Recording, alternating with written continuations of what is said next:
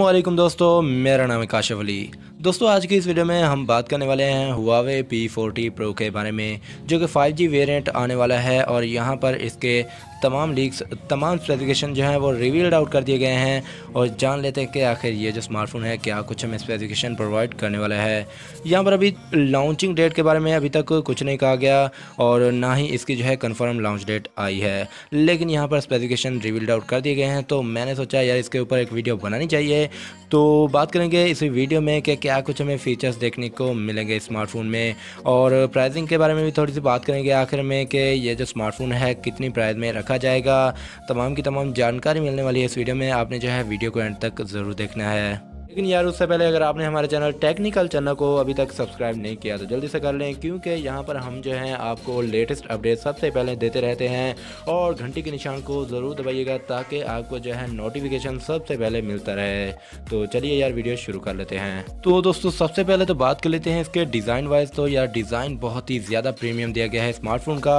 Back की बात कर लें तो क्वाड कैमरा देने वाला है, जो कि यहाँ पर हमें जैसे कि पेंटा कैमरा डिज़ाइन देखने को मिलता है, वैसा ही दिया गया है बम्प को जो है इंक्रीज़ कर दिया गया है। साथ में जो है हमें क्वाड एलईडी फ्लैश भी देखने को मिल जाएगा।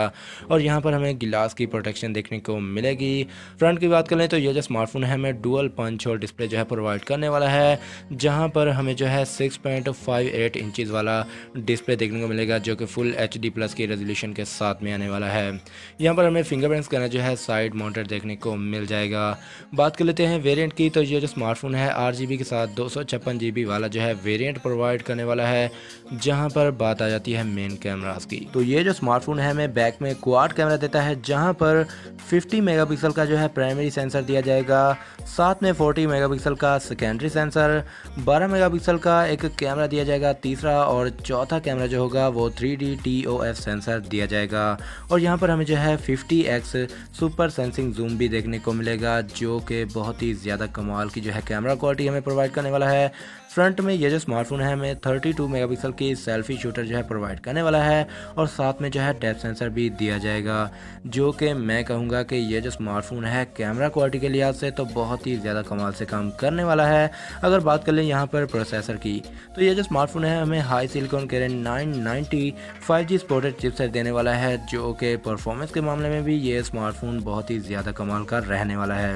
यहाँ पर बात कर लेते हैं इसके ओएस और यूआई की तो एंड्रॉयड टेन ही हमें देखने को मिलेगा, जहाँ पर यू जो है ई एम यू आई दिया जाएगा, जो कि latest E M U I है।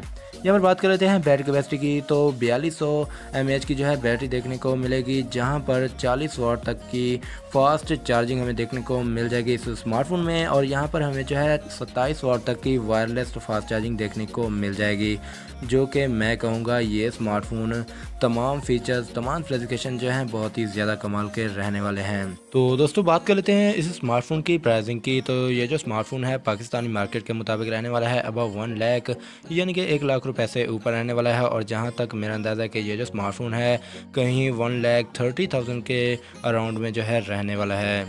तो दोस्तों, आप लोगों की कोई भी राय हो इस स्मार्टफ़ोन को लेकर, आप जो है मुझे कमेंट सेक्शन में जाकर ज़रूर बताइएगा। तो दोस्तों, वीडियो में बस इतना ही। वीडियो देखने का बहुत बहुत शुक्रिया। अगर ये वीडियो अच्छी लगी हो तो लाइक कर देना और चैनल को सब्सक्राइब करना ना भूलना, क्योंकि हम जो है आपके लिए ऐसी लेटेस्ट अपडेट लेकर आते रहेंगे।